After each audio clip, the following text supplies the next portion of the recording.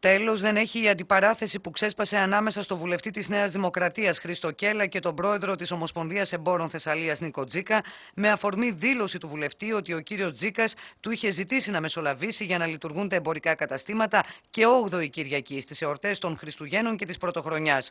Ο πρόεδρος του Εμπορικού Συλλόγου Λάρισας, με ανοιχτή επιστολή του στο βουλευτή, του επισημαίνει ότι αυτά που λέει άπτονται στη σφαίρα της φαντασίας και ουδέμια σχέση έχουν με την πραγματικότητα, ενώ επανήλθε και σήμερα στο θέμα. Θα ήθελα να πω πως ο κύριος Σκέλλας μπορεί να υπήρξε και να είναι και σήμερα ένας πάρα πολύ καλός γιατρός και ένας πολύ καλός άνθρωπος. Όμως αυτό δεν σημαίνει ότι μπορεί να είναι και καλός πολιτικός.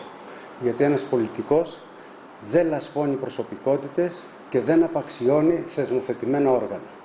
Η θέση των εμπόρων, συνέχισε ο κύριος Τζίκας, ενάντια στην Κυριακάτικη λειτουργία των καταστημάτων, παραμένει η ίδια και μετά την ψήφιση του επίμαχου νομοσχεδίου ποτέ την Κυριακή. Και για το λόγο αυτό διαχωρίσαμε και τη θέση μας στις δηλώσεις ικανοποίησης του Προέδρου, αναφέρει της Εθνικής Συνομοσπονδίας Ελληνικού Εμπορίου του κυρίου Κορκίδη.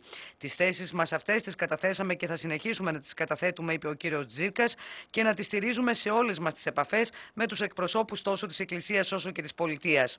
Από την πλευρά του, ο βουλευτής έκανε λόγο για λαϊκισμό και ζήτησε από τον κύριο Τζίκα να ζητήσει ο ίδιος την άρση του τηλεφωνικού του απορρίτου και να απομαγνητοφωνήσει τη μεταξύ του συνομιλία.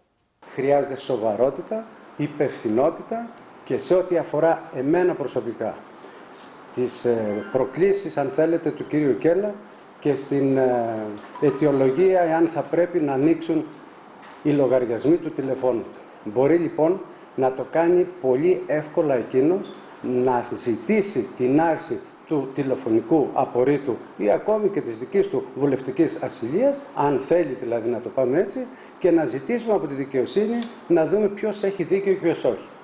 Εάν το θέμα έχει λήξει λοιπόν για τον κύριο Κέλλα, γιατί τον άκουσα χθες στην τηλεόραση, για μας παραμένει ένα μείζον όταν ένας πολιτικός δεν μπορεί να συνεργαστεί με τα θεσμοθετημένα όργανα.